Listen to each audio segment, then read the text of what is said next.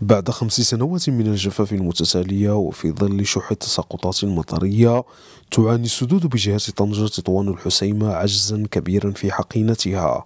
ومن ضمن السدود الأربعة عشر التي انخفضت نسبة المياه بها بشكل ملحوظ نجد سد التاسع من أبريل والذي تظهر جليا على حوافه نسبة الانخفاض والذي كانت تبلغ سعته الإجمالية في الفترات العادية 300 مليون متر مكعب.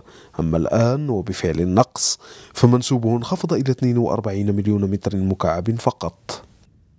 السد 9 أبريل اللي كتعتبر المزود الأساسي لمدينة طنجة والنواحي بالماء الصالح للشرب والماء الصناعي بالإضافة إلى الموارد إلى المتطلبات اللي كتطلبها الساكنة.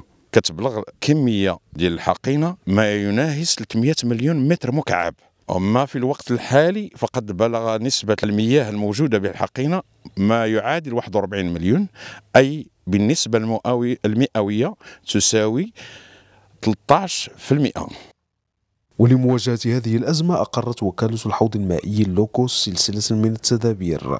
تتمثل في ربط حوض اللوكوس بحوض طنجة كما قامت الوكالة بتكثيف وتعزيز أعمال دوريات شرطة المياه ووضع مضخات عائمة على مستوى السدود اذا رغم حالة العجز المائي اللي كنعرفوها حاليا نتمكنوا بالنسبة للمنطقة ديالنا ديال الشمال من من تدبير جميع الحاجيات إن شاء الله في في, في ظروف عادية.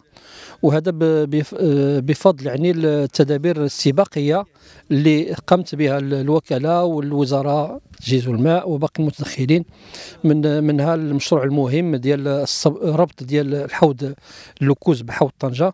اللي ما كنشوفوا مثلا حوض طنجه يعني يعني من نقص يعني في في الموارد المائية اللي متوفرة حاليا.